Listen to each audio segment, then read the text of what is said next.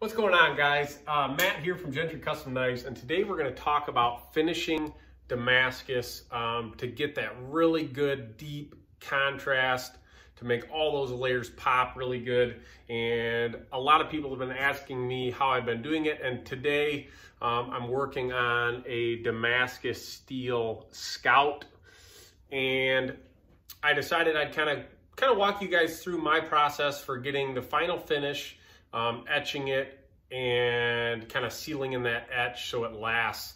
Um, the billet that I'm working off of today is this piece right here of Alabama Damascus, and this is their kind of their ladder pattern. Um, one of my favorites to work with.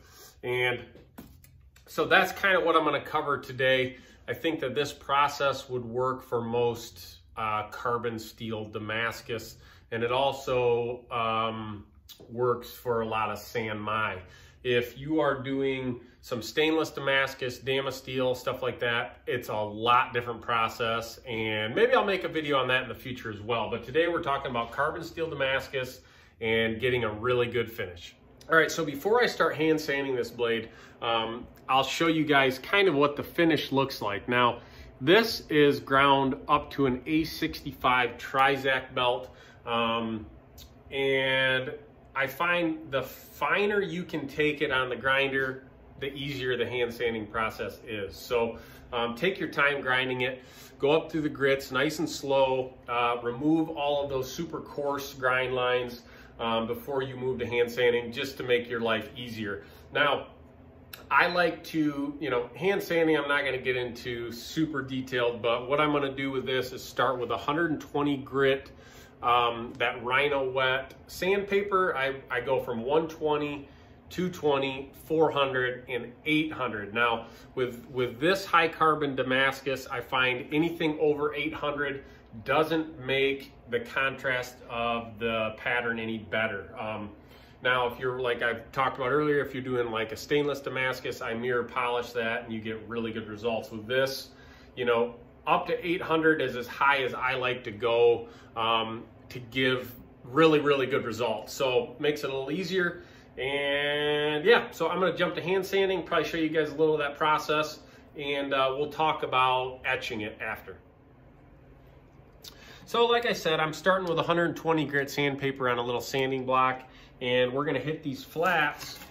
And these flats are already finished to 180, so I'm just really lightly making sure I've got all my scratches out of that with this 120. And so it doesn't take very much time um, on these flats as long as you finish them properly on the surface grinder. And then we're gonna move to the bevel. And I wanted to do this really quick and show you guys what this looks like.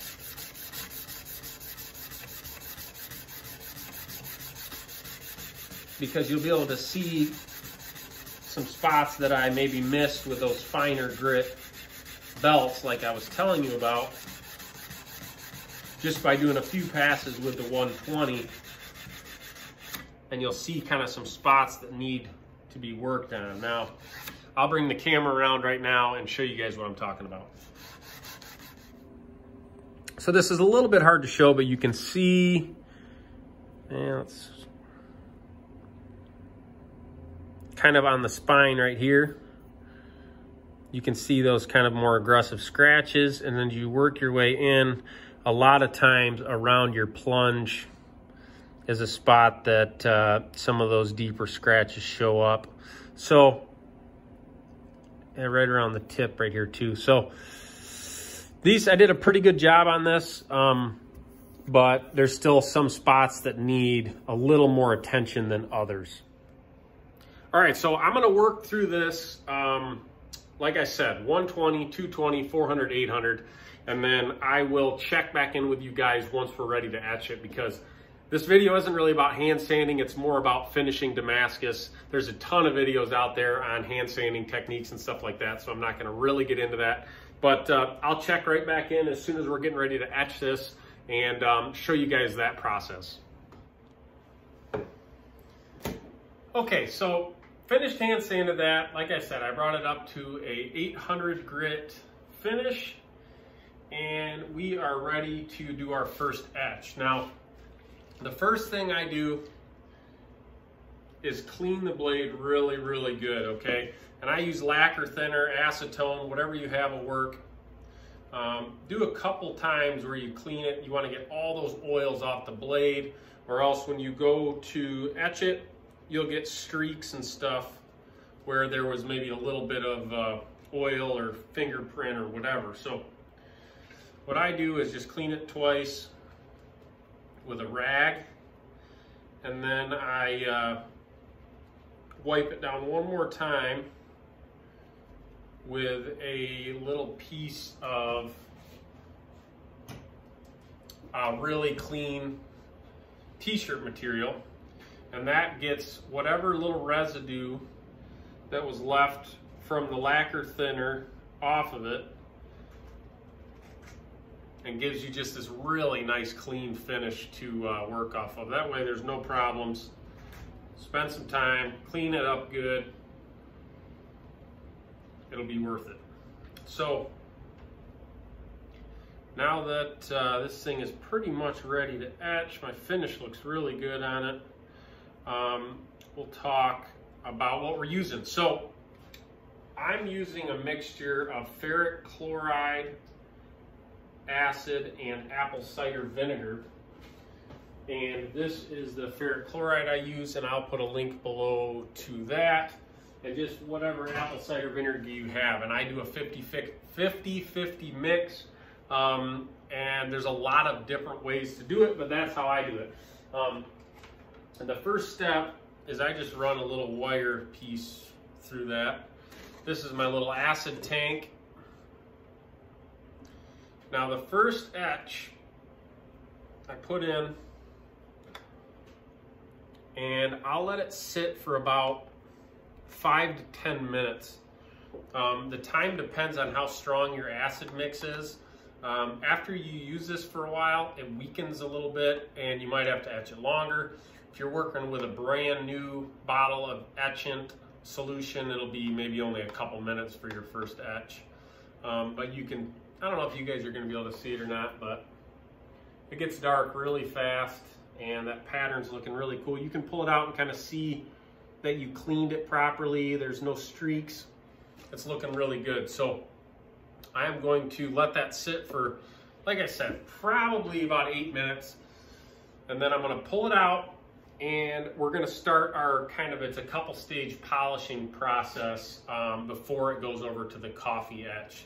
I'll talk about that in a minute as soon as this is ready. Okay, so it's been in for about 10 minutes. I'm gonna pull it out, show you guys what it looks like, and then I'm gonna do a really light, uh, I guess I'm gonna call it a polish with 1200 grit sandpaper, kind of over the whole blade, really lightly. We're gonna do a quick rinse with distilled water, and then it's gonna go back in the etch for another 10 minutes. Now, what this does is it kind of, I guess it just polishes and shows those layers better. When you bring it up to 2000 doing this, and then you do a coffee etch, um, compared to if you just did an etch at 800 and neutralized it and left it, the contrast is way, way better between those layers of steel. So um, takes a little bit more time, but it really gives you good results in the end, and it's well worth it. So let's pull this out, show you guys what it's looking like.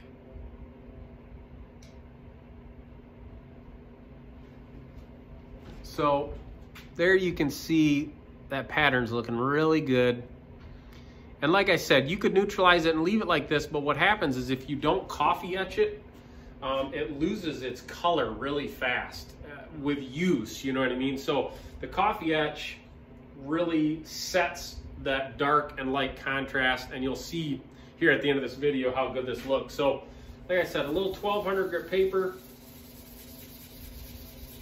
you don't have to go crazy with this, just you're lightly kind of hitting the top, cleaning it up. Get in that where your uh, plunge is, make sure you kind of get in there with the sandpaper. I should have gloves on, but I ran out. I got to get some at the store. And you can see I'm gonna give this a quick rinse and I'll show you guys what it looks like. This, does, this isn't super precise or anything like that. It just really helps out with the final result. You can wash, kind of rinse this in the sink too, but I don't have a sink out here. So a little distilled water. You can see what it looks like now. And then we're going right back into the etch.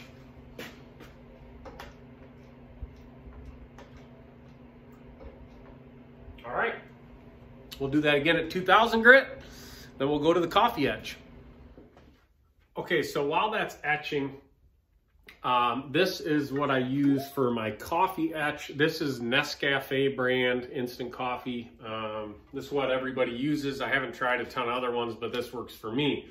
When you brew this up, I do about a half of a jar of that instant coffee with this much water. It's one of those big mason jars. Um, and what I found is if you use a fresh batch of instant coffee, like if you just brew it and etch it while this is still hot, um, it works really good and really fast. If you're doing a ton of knives, it gets old brewing up new batches of coffee every time.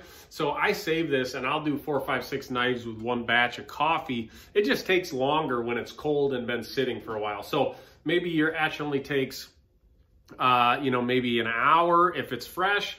And if it's not fresh, you might have to leave it in for 24 hours or so. So that's kind of the difference. So like I said, this is etching. I've sanded it at 1200. It's etching again. And then what I'm gonna do is pull this out of the etch after, I don't know, it's been in for five minutes. I'm gonna leave it another five and I'm gonna do exactly what I just did, but with 2000 grit sandpaper. I'm gonna rinse it with distilled water and then we're going right into the coffee etch. Um, so I will check back in, might be tomorrow, might be way later tonight, and I'll show you kind of what it's looking like after that coffee etch.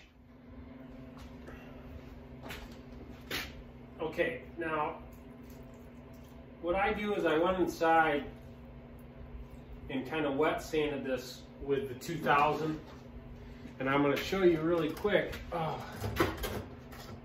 what this looks like before it goes into the coffee. Just to give you an idea of what it's looking like so far. Pretty sweet.